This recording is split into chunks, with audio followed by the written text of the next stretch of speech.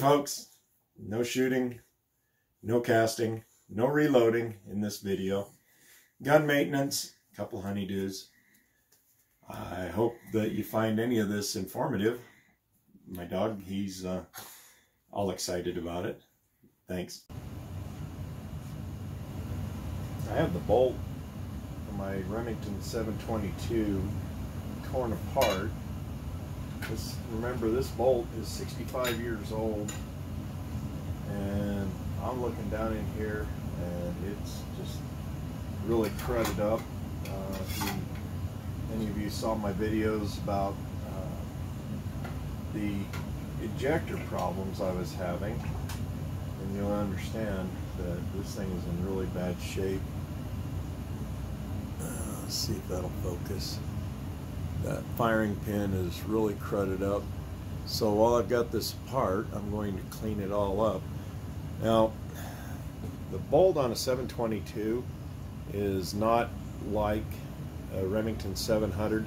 You can push this lip back, this knob, and stick a coin in there and unscrew it.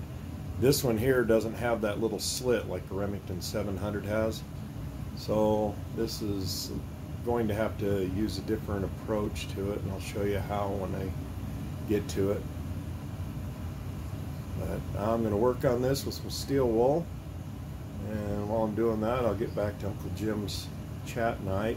Yeah this this uh, entire bolt and I've, I've got this soaking carburetor cleaner.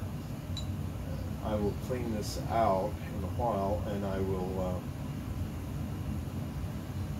yeah, even some of the darkness on here is finally starting to come off. This was just completely black, and it was just carbon. And I don't think this has ever been cleaned. I, in fact, I'm pretty sure that it's never been cleaned. But the uh, ejector plunger right here, it was sticky. Now it's starting to move pretty good. In fact, uh, I just ran some oil down in there a while ago before I tore this apart and I put some empty cases in the chamber, an empty case in the chamber, cycled the bolt, and when I pulled it out, it threw it across the basement. So, yeah, the ejector plunger is start, uh, starting to free up pretty good. Keep soaking this, and then I may uh, drive this pin out and pull the plunger out. Uh, there's a spring and a plunger in here, and I'll pull these out and clean them up too. But I'm going to have to get some steel wool and just really give this some TLC. Remember, this was my grandmother's rifle. Uh, it was made in 1953, I believe, and uh, yeah, it just need it just needs a lot of TLC. And hopefully, I will get this back out to the range sometime soon, and we'll see how it works. Uh, this is uh, gun maintenance weekend for me. Um, I just am so far behind on maintaining my firearms, and it's not a good thing. I uh, had one heck of a time getting all of the. Uh, now look, at my gloves ripped. Yeah, these gloves. Um, and you don't want to do this without gloves. So. Um, some of you in the side that were in the side chat know that I was having heck of a time getting the carbon out of the uh, out of my uh, barrel of this 222 but I finally got it. Uh, good old CLP uh, keep using it and you'll get it. So let me get back to this. Okay so I've cleaned this up. There we go with the OKs again right? I've cleaned this bolt up and I put it back together. I was having extractor problems and now, there she goes. That was just an empty case. So it was just the ejector part was um, gummed up. And the whole bolt was pretty much gummed up as you saw in the firing pin. Now my 222 is back in service. Okay, there I am with the okay again. Sorry about that little dip of hops. We're cleaning the compass. Cleaned the 222 already. a little drop of that. Now, there are a lot of different cleaning solvents to use, but hop's been around for ever. Yeah, it's not too bad. We're getting there.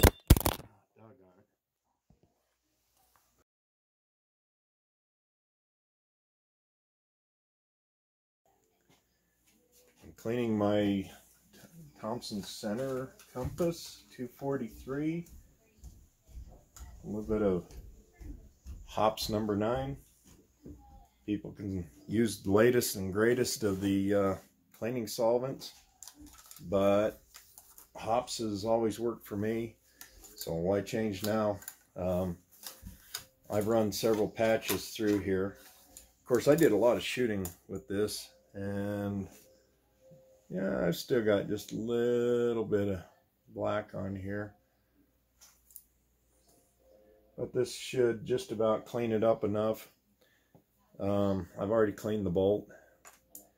This is my GI cleaning rod for my GI cleaning case.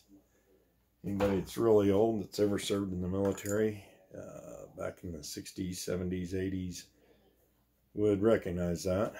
Um, I got that when I was in basic training, I believe, and I just never uh, turned it back in. I think it was probably used when I got it, and that was in 76, so that kind of dates myself. Okay, that's got still just a little bit of darkness on it, but I'm going to call that good. It's just going to get shot more, but at least I don't have any car, um, copper fouling on there. It's just basically powder residue, carbon. And I'll call that one good for this. And I have more to clean. That's what happens when you shoot a lot. And get make sure you get down here in the in the chamber, the back. You don't want to have any of this solvent on here because it will start to eat the finish, I believe. I don't know that for sure, but I just never leave anything wet in here. I've cleaned the chamber really good. Um, that was one of the things that I really wanted to make sure I got was the chamber. So I didn't want to bore you with that. But, yep, this is just a gun cleaning weekend, uh, gun maintenance weekend, because I already tore down and repaired the bolt on my Remington 722 and that thing it's good to go now. I can shoot a lot more ammo through it and it had copper fouling in it and I had to use uh, actually I had to use some CLP to get that out. Even the hops wasn't going to get that out but I got it and she's shiny beautiful bore. I've uh, tried to look down into the chamber and the throat and the leade, and everything looks pretty good. And for a 65 plus year old rifle, I'd say that's good.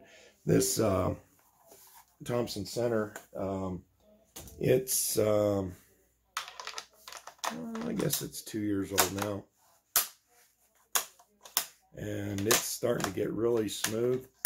Um, a lot of people they their big complaints when they get a uh, Thompson Center. They say the bolt's really gritty. Uh, I probably fired uh, over a thousand rounds through this, and I've looked down the chamber and everything. It's looking really good, but this is getting to be as smooth as what my Mauser is. Another project for this weekend, other than cleaning guns, is straightening out my trailer that got wrecked uh, when I went on vacation.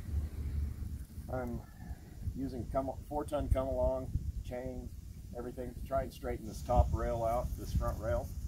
Last weekend I straightened this, two weekends ago, I straightened this long rail, brought it forward because it was pushed all the way back. So now I'm pulling this forward. This was ground down here when it went over on its side and there's not a whole lot I can do with that. I'll just have to patch this up somehow, probably with a welder some paint things. I've got some caps. So I got the new brackets, I got the new buckle, and now I've got this almost straight.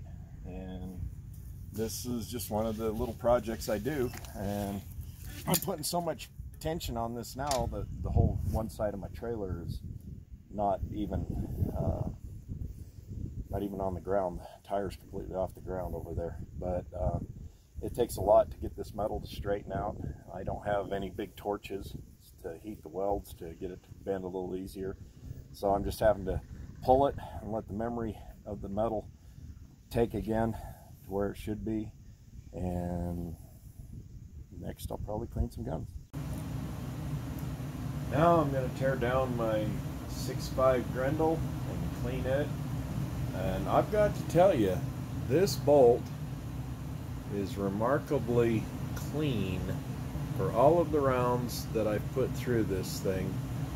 Um, I've probably put 350 rounds through this and it's got just a little bit of carbon on there look down through my uh, charging handle is clean? My chamber is remarkably clean. Perhaps it's the powder that I'm using. You guys I get a lot of criticism for the powder that I use. Um, basically H4V895 335 and I'm in the process right now of loading some these are my 222s but I'm going to load some 107 grain with BLC2 and try to do some 123 grains of BLC2 and I've also my wife bought me a new bipod for my birthday. So let's take this one off. This bipod is aluminum. It's a knockoff. It's CV, CV Life.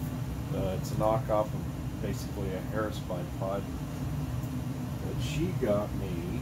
And this rifle is heavy anyway with this heavy um, heavy profile stainless 20 inch barrel. But what she got me for my birthday, which is still coming up, but you know, birthday present, birthday present. This is, I have a Picatinny rail. I don't. I go straight into my M-LOK. This is a carbon fiber bipod. I don't know if you can see the carbon fiber profiling or not.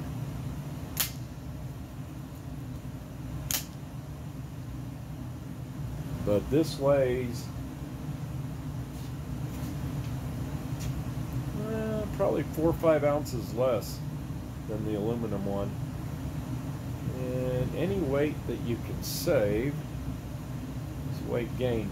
With this heavy uh, scope on here. And this thing right here is a beast. Yeah, sure, it's a CV Life, but it is still heavy. And with the sunshade on there, it doesn't do it any favors for lightness.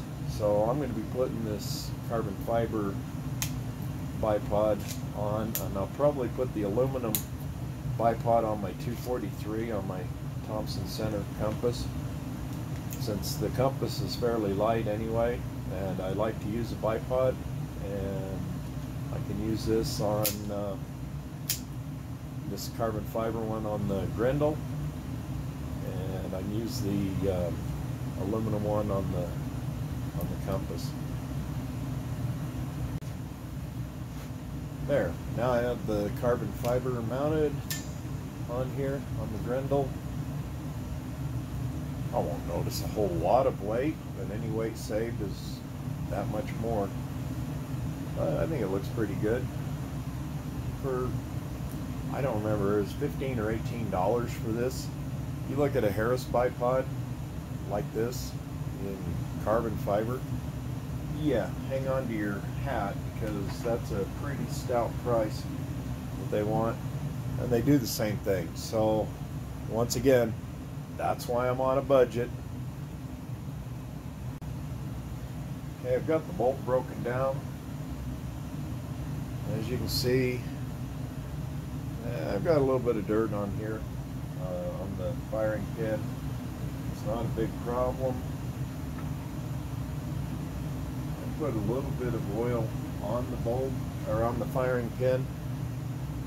That way they come clean a lot easier uh, when you don't drop your rag.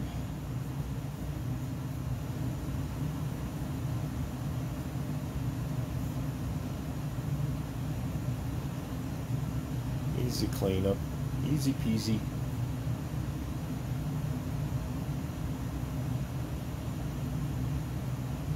Now that's not even with any cleaner on it. Pretty doggone clean now. The powders that I use, they don't gum up everything. If you know where to put oil on your AR type platform modern sporting rifles. Now that cam is clean. If you know where to put the oil, they're easy to clean up. A little cotter pin, my firing pin re retaining clip, clean. This bolt won't take much to clean it. I will use my toothbrush and my uh, cleaner to clean that.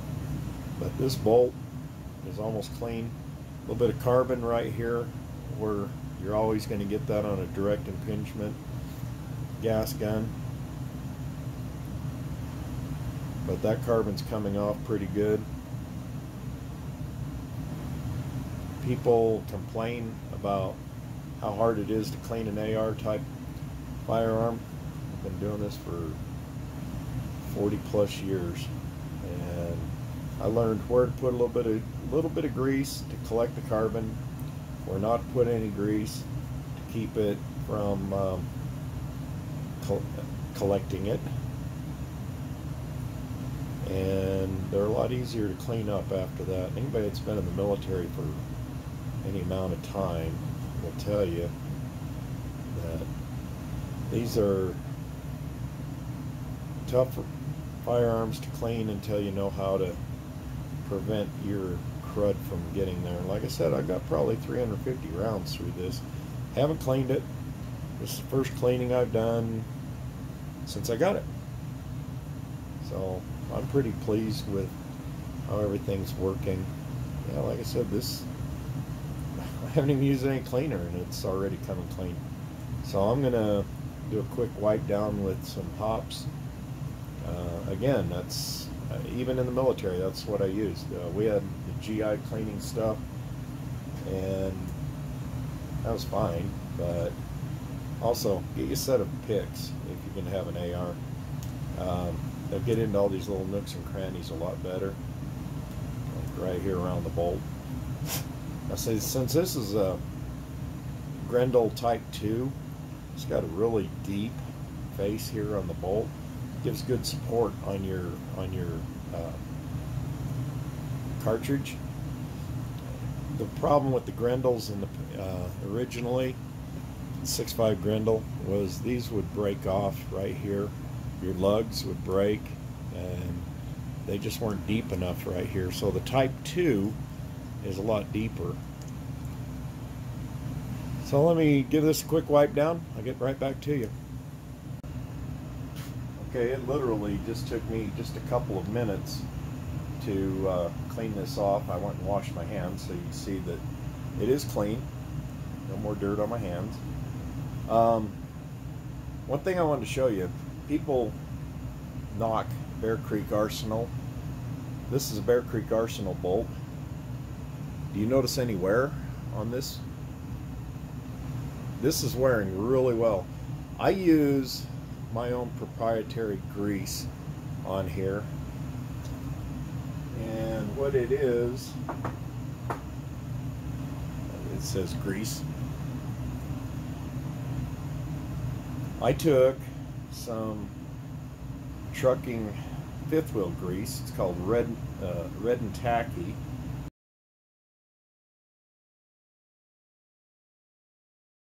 And I mixed some graphite that you get from your um, your door lock graphite and I just put a very small dab right here where the hammer rides on it and here in the rails. Just very light. And this keeps my wear down. And the graphite helps that bolt slide really well. The red and tacky keeps the keeps the um, graphite in suspension. So that's all I use for that. And on the bolt I use just a little bit right here around the rings just to keep a good seal. But I wanted to show you too on the rings you can see that I've got my gaps really close. Again with the pick you want to spread these out 120 degrees away from each other. So this front front one will get turned. Okay hopefully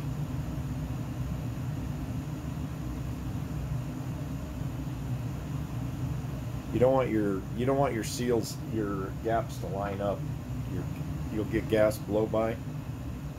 Most of you already know this but for those that don't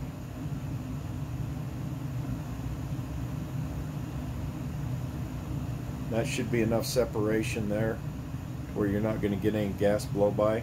I have just a little bit on my fingers uh, of that grease from that I used and I put just a little bit of a dab here on my rings.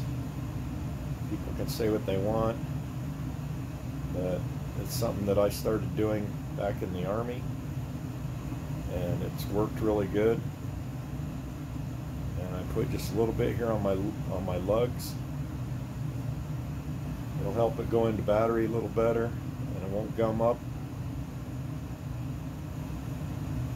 Again, 40 plus years of playing with an AR platform and uh, that's what I've done and it works really good. Now I have too much in there so I'll take a rag and just wipe that out a little bit. All you want is just just a very light very very light coating. And basically all it's doing is protecting the metal from any corrosion that may set in also, I don't know if you can see that or not. It says MPI. This has been magnetically magnetic particle magnetic particle inspected. So at a very low price point, Bear Creek is doing things that the very expensive gun manufacturers do. And as you can see, I'm not getting anywhere at all on here. This ring right here is another place just put just the lightest lightest amount of of uh, grease on there and as you can see I'm bringing a lot of it up back off but the graphite is what's going to make it run smoother my own my own formula of grease. Now, let me put the bolt back together and I'll clean the barrel. Okay, let's see how dirty this thing is. a little, little bit of hops in here. I'll have to get the rag completely soaked. But I can tell you right now, that this thing is not very dirty.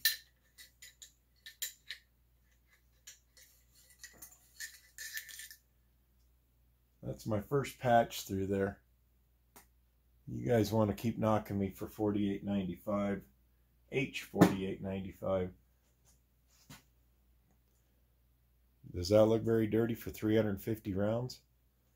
I um, I think that's pretty good. So I'm going to run this patch back through there a couple more times. I mean, I'm looking down in the chamber. The chamber looks good. And since this is 20 inch barrel and uh, these, my GI cleaning rod is for 20 inch barrel. That's just about the full length of it. Yeah, that's uh, that's not bad at all. I'll take that 48.95 anytime or 48.98 anytime. 48.95. Sorry, tired. I got to get up in a couple hours and go back to work. But I thought I would throw this in. Let's just see. Trim this down just a little bit.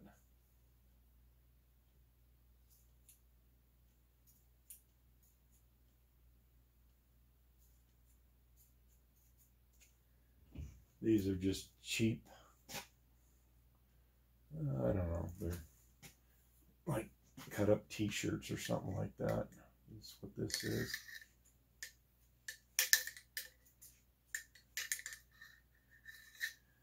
Okay, this is my chamber that I'm running through right now. And that's not bad for as many rounds as I've thrown through this. I'll uh, put a little drop of hops on here again and clean that chamber out a little bit more. Chamber is very important when you're cleaning. If you don't clean that chamber, then you could have rounds getting stuck.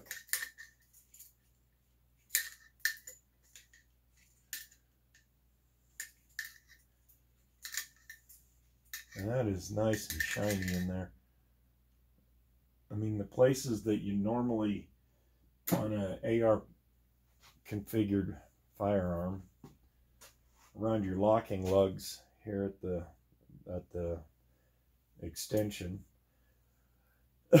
I'm looking down in there and it's shiny as can be. So I'm pretty pleased with how this powder is burning through. And I'm not getting hardly any powder. I'm not getting any copper. I'll see after this is soaked for a little while if I'm getting any copper.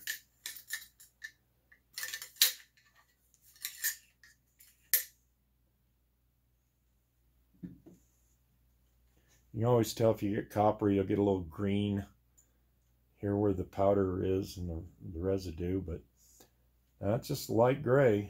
That's just unburned powder. Um, that helps your accuracy a lot. So, okay, well, let me uh, run a couple more patches through here and I won't bore you with that. And just thought I'd give a couple little what I do's.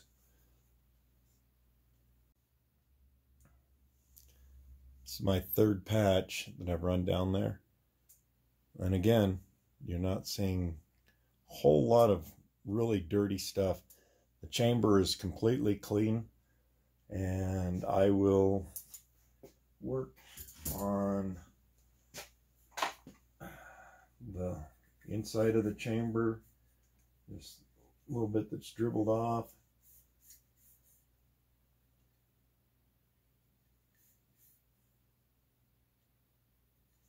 And really, this thing is not dirty at all.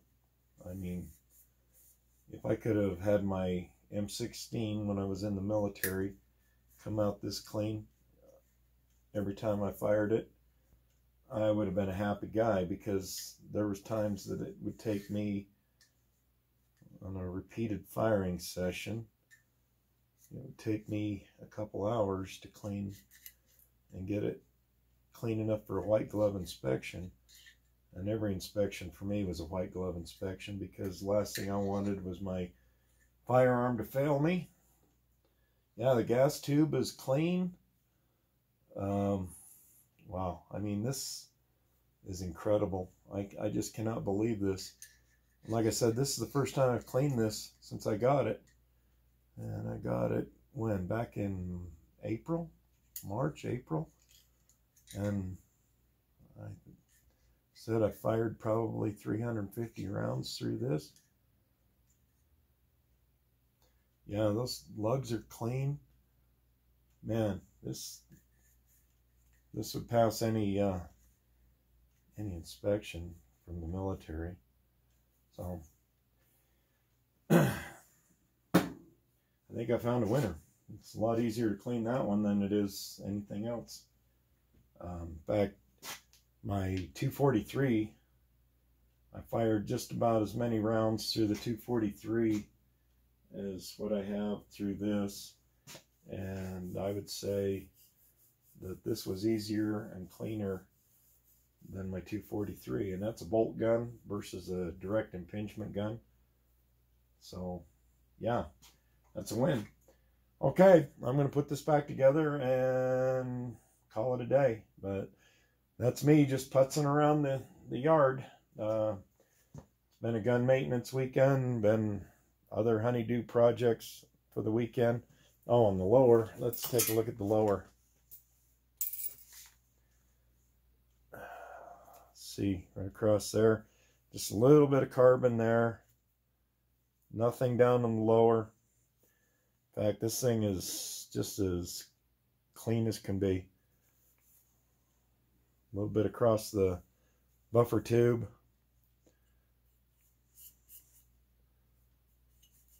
A little bit of dust down in the magazine, but that's to be expected. If you've seen my videos, you'll know that I'm out in the desert shooting this. So, yeah, I mean, this is my Windham weaponry um, lower. I have a AR-15 upper with it. And, yeah, it's a, it's a win-win-win.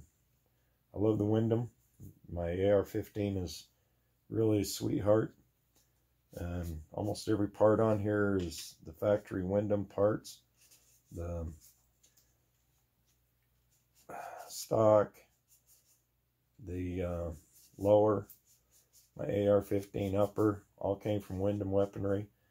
The only thing that's not Windham is my upper for my 6.5 Grendel. And as I keep saying, that's Bear Creek Arsenal. And I could not be happier with Bear Creek. Um, I don't get any endorsement from them. Um, nope. They don't pay me to say that. I only call them like I see them. One thing that uh, may be concern for some people is my, okay, let's get that off.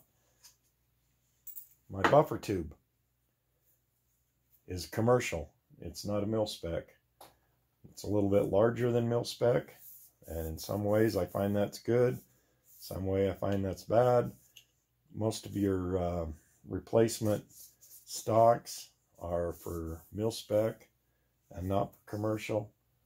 So call it what you will. It came with the rifle. I've left it alone.